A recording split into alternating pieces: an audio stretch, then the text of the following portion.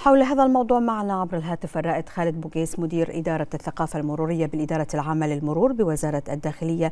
أهلا بك في نشرة الثالثة. بداية ما هي أهم الممارسات التي تتبعها الإدارة العامة للمرور لضمان سلامة وانتظام خدمات النقل العام؟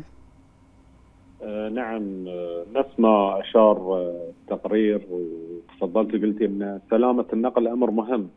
باعتبار إحنا من الدول اللي تعتمد على الطريق في النقل سواء نقل الأشياء أو الأشخاص. يعتبر النقل أو سلامة النقل رافد لعجلة التنمية. بذلك لابد أن يكون استخدام هذا الطريق وفق الأنظمة والمعايير والقواعد المرورية.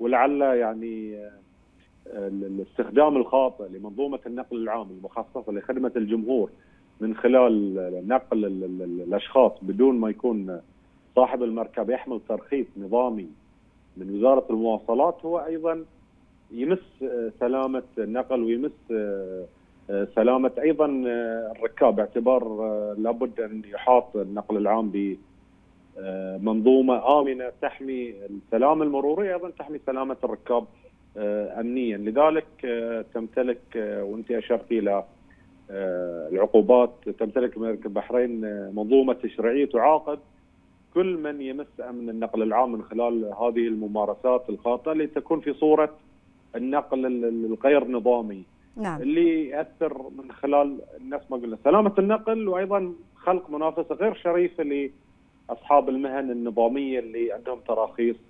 لنقل الركاب. نعم.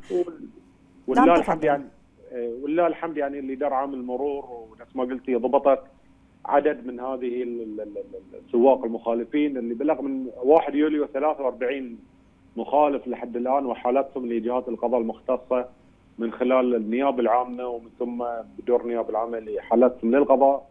ونزلت بهم العقوبة وقال القضاء كلمته فيهم. وأيضا شملت أحكامهم أحكام تكميلية بالابعاد أيضا يعني بالاضافه للعقوبات الجنائيه شملتهم احكام بالابعاد. نعم كيف تقيم مستوى الالتزام؟ الالتزام بالقوانين، الالتزام بالأنظمة الصادرة من الإدارة العامة للمرور. آه لله الحمد يعني نحن في المنظومة المرورية في مملكة البحرين تعتبر من الدول الرائدة في إدارة الحركة المرورية ودائما يقاس العمل المروري أو المستوى المروري بالأرقام عند المنظمات المختصة بالأمور المرورية. نعم. الأرقام الحمد لله مبشرة والارقام إحنا نعتبر من الدول المنخفضة جدا إن لم تكن من الدول اللي تعتبر من أقل الدول ارتكابا للحوادث المرورية والمخالفات المرورية، حتى في مجال النقل العام وإن كان يتم تداول بعض الوسائل التواصل الاجتماعي لهذه الفئات ومكا أو بؤر تجمعها لكن هي لا تشكل لله الحمد ظاهرة متفشية نفس بعض الدول الغير لأن إحنا لا الحمد بتوجيهات من سيدي صاحب معالي وزير الداخلية لا نترك مجالا ويتم رفض كل ما يتم تداوله ويتم اتخاذ الاجراءات القانونية وحاله المخالفين للقضاء لانزال العقوبة عليهم. إذا الرائد خالد بوغيس مدير إدارة الثقافة المرورية بالإدارة العامة للمرور بوزارة الداخلية شكرا جزيلا لك.